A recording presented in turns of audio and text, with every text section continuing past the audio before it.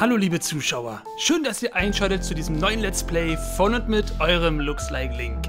Cadence of Hyrule, ein brandneues Spin-off von The Legend of Zelda. Richtig, richtig toll, es ist heute erschienen. Ich freue mich sehr auf dieses Spiel, denn es ist ja, ne, man weiß es nicht genau, ist es wirklich ein Spin-off von The Legend of Zelda oder doch eher von Crypt of the Necrodancer? auf jeden Fall ein sehr, sehr interessantes Spiel mit einem sehr, sehr coolen Rhythmusprinzip, wenn ich ein bisschen Bammel habe, dass es eventuell schwer sein könnte. Es ist Zelda, da muss ich durch, da will ich sogar durch. So, ich würde mal sagen, wir können einfach direkt ein neues Spiel starten. Es gibt allgemein viel zu erzählen. So, drei neue Dateien. Okay, wir machen einfach ganz normal. Äh, Spiel anpassen, mit den aktuellen Einstellungen ein neues Spiel beginnen. Oder was ist ein Anpassen? Äh, Handlungsmodus. Äh, du erlebst die Handlung. Dieser Modus wird für den ersten Durchgang empfohlen. Na, ist ja perfekt. So, und hier ist alles auf Nein. Oh Gott, der One-Beat-Modus. Oh, oh, oh. Okay, das lassen wir alles mal richtig schön auf ganz normalen Einstellungen, denke ich mal, das ist sowieso am besten. Dann kann man das Spiel, ja, einfach genießen mit der Story. Ich bin sehr gespannt, wie das wirkt, denn ich kann nur sagen, ich kenne den Ursprungsteil. Ja, wirklich halt Crypt of the Necrodancer. Dieses Spiel kenne ich, es ist mir bekannt. Ich fand es halt wirklich schwer, aber vielleicht auch nur, weil ich es nicht gewohnt war, solche Spiele zu spielen. Ihr werdet vielleicht noch verstehen, warum. Zumal es eventuell sogar problematisch wird, dass ich dazu halt sprechen muss. Ist es ja ein Let's Play, ne? Aber hey, wir stürzen uns einfach mal ins Game. Ah, stimmt ja. Hier muss man erstmal ein bisschen die Latenzeinstellung übernehmen, dass man genau dann drückt, wenn man, ja, wenn der Beat kommt oder hier jetzt visuell, wenn das Triforce pulsiert. Alles klar. Cool. Geil, keine Latenz. Sehr, sehr schön. Das sollte eigentlich gut klappen, muss ich nichts weiter anpassen. So, genau, weil so spielt man das Spiel auch. Ja, ich, werde, ich glaube, wir werden es alles noch schön erklären. Ich hoffe, es gibt ein Tutorial, aber ich denke mal schon. Every world has its evils. And when the balance of power is inevitably lost, it's up to the courageous and the wise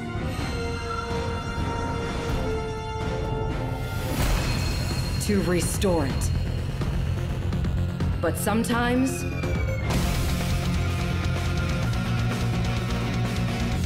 sometimes. They need a little extra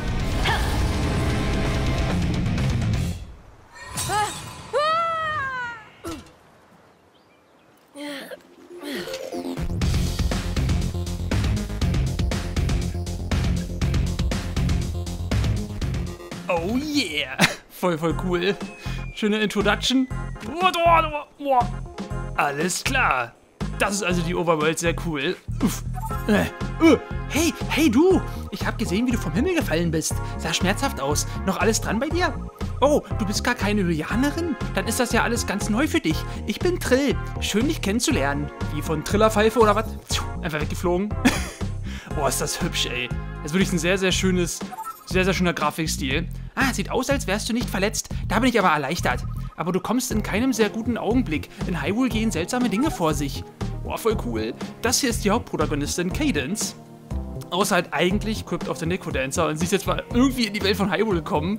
Sehr, sehr geil. Und äh, noch ist es nicht relevant, aber guck mal, ich bewege mich halt schon so ein bisschen springend und das wird später halt zum Beat geschehen. Ich glaube, jetzt kann ich noch irgendwie... Okay, gut, genau. Hier ist jetzt erstmal gerade nichts los. Dann kann ich einfach auch die Richtungstasten gedrückt halten und einfach durch die Gegend speeden, Alter. Äh, Oh, guck mal, ein Chica-Stein. Spring doch mal dagegen, um ihn zu aktivieren. Äh, dann müsste sich diese Tür ja öffnen. Alles klar. Dum, dum, dum, dum, dum, dum, dum, dum, dum. Oh, oh, oh, hier, zack. Ah, zack, genau. Ich drücke tatsächlich keine andere Taste bisher, außer die Richtungstasten. Und dann greift sie automatisch das Nebenliegende an. Das ist voll cool. So ein bisschen Geld sammeln hier am Anfang, ne? Geil. So, okay, jetzt aber erstmal hier. Zack. Sehr schön. Du, du, du, du, so, das Besondere oder worauf sich viele freuen, ist tatsächlich auf die Musik in dem Spiel, weil es gibt ja wirklich zahlreiche Zelda-Soundtracks und dazu im Beat zu spielen und zu kämpfen, das wird bestimmt der Hammer. Ah, ja. So, oha. Ah ja, okay, das sieht schon eher so aus, wie man es kennt vom Ursprungsspiel. Es ist alles immer ein bisschen dunkel und man kommt hier gar nicht so wirklich voran. Und man muss alles nach und nach aufdecken. Äh, da sind Baumstümpfe im Weg. Wie kommst du daran nur vorbei? Ich habe keine zündende Idee. Äh, Ernsthaft? Okay, und jetzt? Du, du, du. Äh, da links ist eine Treppe. Geh doch da mal hinauf. Was, wo? Hä, wo ist hier eine Treppe? Ach, das, ach so, das hier. Fast gar nicht gesehen. Ich dachte, ich habe jetzt an eine andere Treppe gedacht. Entschuldigt. So, okay. Yeah! Eine Fackel. Okay, die Fackeln kennt man auch aus dem Ursprungsspiel. Die machen wirklich, wie ihr es jetzt hier seht, sorgen sie für mehr Licht. Und anscheinend, super, du hast den Baumschuft mit der Fackel verbrannt. Aber pass auf, die Items, die hier angezeigt werden, nutzen sich ab und, und gehen irgendwann kaputt. Alles klar, Tuel, Dankeschön. Trillerpfeife. So, du, du, du, du. So, diese Dinger müsste ich auch noch kennen. Die sind, glaube ich, dazu da, genau, um zu verhindern, dass ich einfach so nach oben komme. Ja, ja, ja, ne? Wird dann alles schön erklärt. Und hier... Oh, okay, kann ich schieben und einfach drauf hüpfen. Ah, okay. Du, du, du, du, du, du, du, du. Oh, oh, jetzt geht's los. Guck mal da. Man sieht jetzt diesen Beat. Und ab jetzt muss ich mich so bewegen. Ich kann jetzt nicht einfach durch die Gegend rennen, weil sonst würde ich den Beat versauen. Oh, pass auf. Dieses Monster will dir ans Leder. Und hörst du diese aufwühlende Musik? Ja, wenn Gegner in der Nähe sind, müssen sich alle im Rhythmus der Musik bewegen. Aha, genau. Und so greife ich dann auch an. So, die Viecher bleiben an Ort und Stelle. Zack. Zack. Yeah. Genau, so wird das laufen. Natürlich bleiben die Gegner nicht so harmlos. Ja, natürlich nicht. Und es wird noch ein bisschen taktisch basieren, weil alle bewegen sich später noch in anderen Takten. Kann jetzt aber halt nur dafür sprechen, wie es damals halt war. Ich hoffe echt, dass ich das hinbekomme, nebenbei noch zu quatschen und mir nicht selber den Rhythmus zu versauen. Das Gute ist, dass Monster immer in bestimmten Mustern zur Musik tanzen. Sieh dir ihre Bewegung gut an, dann kannst du sie besiegen, ohne Schaden zu nehmen. Geil. Oh, Beat verpasst. Okay, gut. Man, wenn man den Beat verpasst, ähm, hat man so quasi, ich glaube, das ist, müsste hier auch noch so sein, hat man seinen Multiplikator verloren. Der macht aber, glaube ich, erst Sinn, wenn es darum geht, Geld einzusammeln. Batz. Yeah. Sehr schön. Oh Gott. Mach es nicht. Ich hab so Angst, Mann. Oh, was zum... Auch dieses Monster folgt einem, sim eine, einem simplen Bewegungsmuster. Es bewegt sich jeden zweiten Beat und nimmt immer die Arme hoch, bevor es springt. Oh, okay. Gut, dann. Aua. Lass mich, lass mich, mich hier voll angreifen. So. Aber ich Herzen. Das ist doch schön. Oh, die Musik, ey.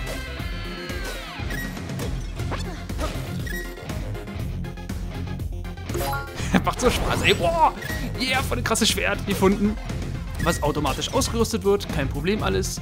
Sehr, sehr schön. Du, du, du.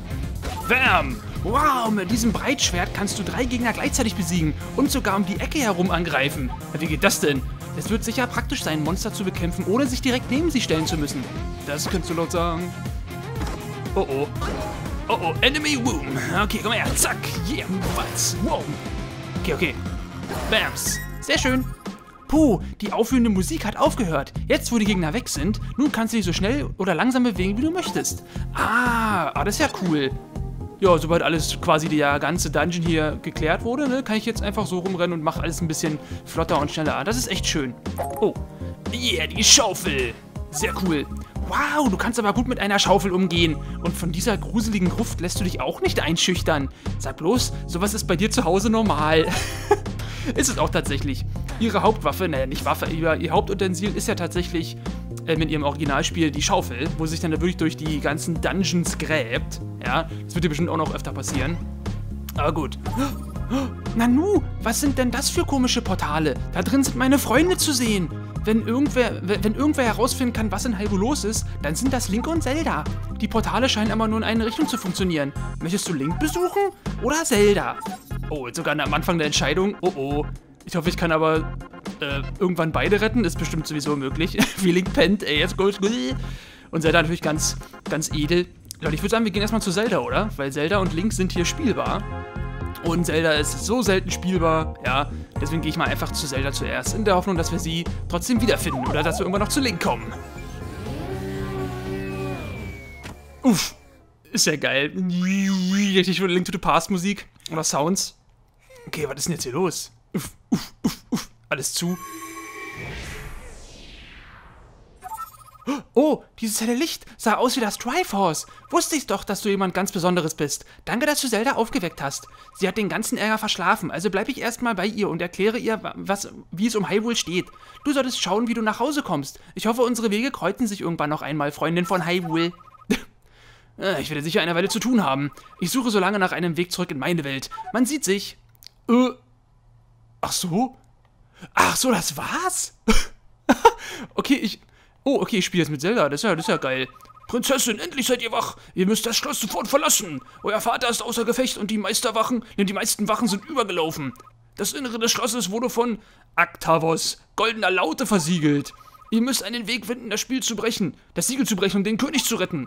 Nehmt dieses Teleskop, damit sollte euch die Suche leichter fallen. Alter, du hast das Teleskop erhalten. Damit enthüllen sich dir die, enthüllen sich dir mehr Gebiete auf der Karte.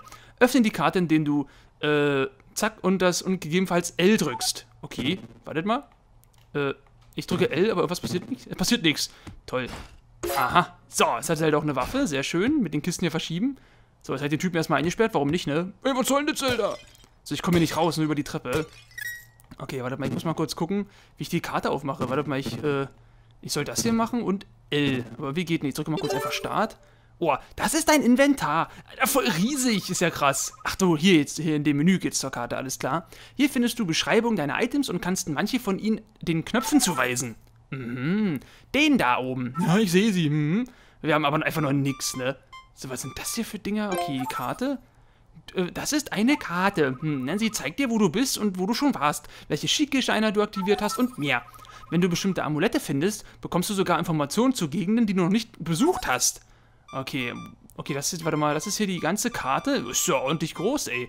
Ach, schön. Ey, das wirkt für mich richtig so, als würde das wirklich ein, ja, richtig so, so ein Zelda-Adventure halt, ne? Mit Anfang und Ende. Ich bin, ach, bin schon sehr gehypt. Freue mich sehr. So, Inventar, System. Ah, okay, nee, kann man nicht speichern. Alles klar. Ich bin im Bilde. So, dann gehen wir mal los. Oh oh. Oh, bin ich froh, dass du aufgewacht bist, Zelda. Aber während du geschlafen hast, ist in Hyrule einiges vorgefallen. Ich bleibe bei dir, um dir das Nötige zu erklären. Okay, jetzt geht's wieder los mit den Beats. So, erstmal auf die Schaufel gefunden, alles klar. Okay, man kann hier einfach, die kann einfach durch die Wand buddeln, kein Problem. Vamps. So, okay. Noch irgendwas gefunden? Es müsste, glaube ich, auch so sein, dass nicht alle Gegenstände tatsächlich, ähm... Oh, Nairos Umarmung! Du hast die Fähigkeit Nairos Umarmung erlernt. Sie wird automatisch mit Sie wird automatisch eher zugewiesen und kann nur von Zelda verwendet werden. Setze sie im richtigen Moment ein, um Geschosse oder Nahkampfangriffe aus allen Richtungen auf den Angreifer zurückzuwerfen. Boah, selbst wenn du sie einem Beat zu früh auslöst, kannst du noch Schaden abwehren. Das ist natürlich geil. So, oh Gott. Oh, zack, so. Okay, nur drei Herzen. Zelda hat nur drei Herzen, muss ein bisschen aufpassen. Alter, Bomben! Sehr schön. Okay, Bomben haben sich jetzt automatisch dem Knopf zugewiesen, alles klar. Huh. Ach, guck mal, das kostet Magie. Oh, oh. Das kostet sogar Magie, ne? Ja, wir lernen erstmal alles. Oh. Verdammt. Okay, Musik also platt machen. Was, Dekonüsse? Hey, was gibt's, was gibt's denn hier alles, sag mal? So, alle Gegner sind down, ich kann wieder rumrennen. Whee! So. Okay, guck mal. Ey, was wir jetzt alles haben. Okay, Bomben sind auf B einzusetzen. Okay, okay, okay. Gut. So. Hey, guck mal. Ein Schikastein. Wusstest du, dass du nach einer Niederlage bei jedem Schikastein zurückkommen kannst, den du aktiviert hast? Ah. Sehr schön. Zack. So funktioniert das also. Boah, aber wie hübsch das ist, ey. Und die Musik. Das sind doch Tall Tall Heights, oder nicht? Ah, so cool. Okay, ich gehe erstmal. Ich muss erstmal vom Schloss weg. Alles klar. Boah! Erinnerst du dich an Octavo, den Musikanten, der dich hat sch- einschlafen lassen? Während du geschlummert hast, hat er seinen, deinen Vater eingesperrt und sich in Schloss Hyrule verbarrikadiert. Das Siegel kann nur geöffnet werden, wenn du seine vier Instrumente der Macht besiegst. Zelda, wir müssen umherreisen, um diese Instrumente zu finden und zu besiegen. Alles klar. Oha. Boah, guck mal, alles voller Gegner. So. Dann lernen wir doch einfach mal die ganzen Gegner, oder? Oh Gott, okay, im Wasser bin ich hier ein bisschen. Im Wasser bin ich ein bisschen gehandicapt, da komme ich nicht so schnell raus. So, okay. Beat zwar versaut, aber egal. So, hier die komischen Staubpilze sind fies. Oh, niedrigeres Tempo. Okay, sehr schön. Oh Gott, die Hühner will ich mich angreifen. Du, du, du. Wow. So. Ich glaube, die Ritter sind nur von der Seite angreifbar. Oh Gott, ey. Checkpoint, sehr schön. Aber mit dem Checkpoint, die fällt mir echt. Das finde ich echt gut. Kann ich hier hoch? Nee. Schneller. Was? Oh Gott, oh, er hat sich geteilt. Oh. Wenn der letzte Gegner auf einem Bildschirm besiegt wird, lässt er Diamanten fallen. Im Gegensatz zu Rubinen und Schüsseln gehen Diamanten bei einem Game Over nicht verloren. Du kannst sie in bestimmten Läden einsetzen. Oh, geil. Die Diamanten kennt man auch aus dem Ursprungsspiel. Da waren die auch so eine, ja, so eine selten zu bekommene Währung. Okay, warte mal, Musik jetzt einfach. So, hier hoch oder was? Ich würde dann irgendwie den Stein, der sieht aus, mit den kaputt bomben kann, aber ich weiß nicht, ich traue mich nicht. Okay, hier haben wir erstmal nichts. Dann mache ich einfach mal, ich habe, obwohl ich habe nur eine Bombe, ne? Okay, die kann ich auch schieben. Okay, ich gehe erstmal hier rein. Hm, Was ist hier? Oh! Manche Gebiete wie diese hier kannst du nur mit Hilfe eines bestimmten Items durchqueren. Aber auch ansonsten gilt, mit kreativem Item-Einsatz kommst du schneller und sicherer vorwärts. Okay, wo sind wir denn jetzt? So, das ist einer der ersten normalen Dungeons oder was? So, okay, ich kann hier nicht... Ich glaube, rüberspringen kann sie nicht, ne? Nee, okay, wartet mal. Okay, es geht aber nach da. Hm. Okay, sieht ja fast so aus, als müsste ich irgendwie... Hm, was? So, was? Was? So, ich kann... Äh, wartet mal. Ich würde da gerne raufsteigen, aber wie kannst du das nicht machen? Äh, okay, einfach weggeschoben. Warte mal, ich kann, hier, ich, kann hier, ich kann hier leider nicht rüberspringen, ne? Ich hätte dieses Ding benutzen können zum rüberjumpen, aber... Hm, warte mal, ich reset aber nochmal ganz kurz. Das will ich jetzt Ende wissen, ne? Ich weiß ja nicht, was für Gegenstände mich hier erwarten. So, also, ups. Dum, dum, dum, dum. Beat verpasst. Du, du, du. Also, wenn ich jetzt zum Beispiel daran denke... Oh, es ist wirklich verschwunden einfach, verdammt. Wenn ich jetzt daran denke, dass ich irgendwas vielleicht irgendwann mal finde, um Gegner einzufrieren, dann wären die alle eine Brücke. Oder kann ich einfach von oben angreifen? Komm, wir experimentieren einfach mal ein bisschen. So. Okay, ups. Und rüber. Okay, geht nicht.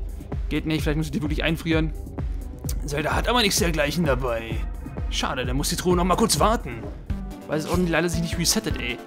Du, du. So, hier haben wir... Oh, wieder ein... Ey, das ist eine richtig... Das ist eine richtig große Welt, ey. Geil. Da freue ich mich schon drauf. So. Ah, oh Gott. Mm, mm, mm. Nein, Huhn, hau bitte ab. So. Oh. So, man muss echt immer aufpassen, ey, vor allem wenn es zu viele werden. Was? Hups. Oh, shit. So, okay. Einfach zweimal draufkloppen. Und der Typ ist weg. Dann heile ich mich hier ein bisschen mal hoch. Einfach ganz froh. So. Okay, noch nicht alle Gegner tot. Oh, das ist ja...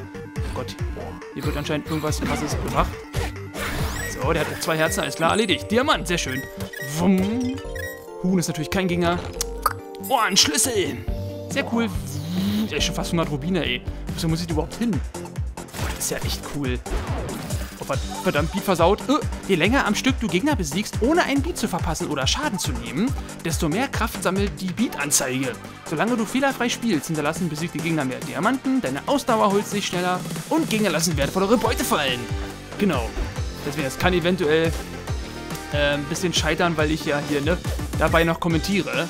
Und schon öfter mal meinen eigenen Beat versaue. Oh Gott, Bombe. Okay. Was?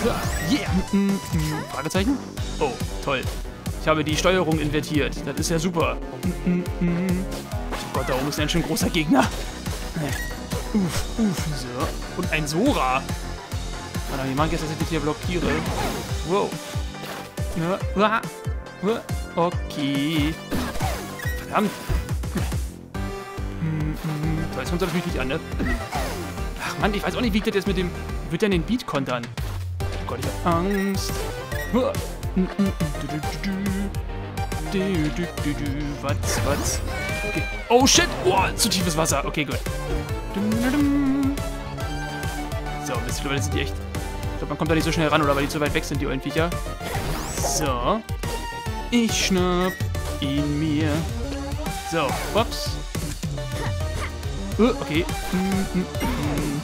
Komm da rein, wie doof. Ich weiß nicht. Ach man, Mist, ich glaube, die sind sehr... Die geht sogar schneller wieder weg. Okay, das hat der Arsch gebracht, ey, weil er immer wieder schnell ins Wasser wieder zurückgeht. Verdammt. Der Typ. So, ich glaube, ich spiele jetzt echt schon wieder richtig falsch und gleich tot. Das ist nicht so toll. Oh Gott, gegen den Großen habe ich da jetzt keine Chance. Wartet mal. Hups, hups. Yeah, yeah. Was was Ring des Charismus oder was? Keine Ahnung. Yeah. Okay, jetzt einfach wieder safe. Habe ich noch irgendwo ein bisschen was zum, zum Heilen oder so? Lass mal ein paar Büsche schnitzeln. Nee, okay, gut. Oh, geil. Es wirkt aber echt wie so ein Zelda-Spiel, bloß halt, ne? Mit anderer Art. Oh! Kakariko, war ernsthaft geil. Die muss ich mir erstmal ein bisschen erholen. Es tut mir leid. Kakariko ist aber auch ein cooler Punkt. Wo erstmal. Oh, viel besser. Oh nein! Scheiße, ich wollte mich eigentlich nur vorbei bewegen, aber ich greife an, wenn ich mich bewege. Okay, ganz ruhig. Ich würde aber auch sagen, dass wir hier dann erstmal den ersten Part beenden. Ich bin gespannt, wie ich mich hier anstellen werde. Ja, ob ich alles schaffe, im Rhythmus zu machen und die ganze Welt zu retten. Aber es sieht echt cool aus. Ich meine, boah. Okay, warte mal, das hier ist... Haben wir schon einiges entdeckt vom Spiel, ja? Ich bin aber mal gespannt, wie viel da noch kommt. Oder ob die Karte hier, ob das die maximale Karte ist. Wir werden es ja sehen. Leute, vielen Dank fürs Zuschauen und bis zum nächsten Part. Ciao!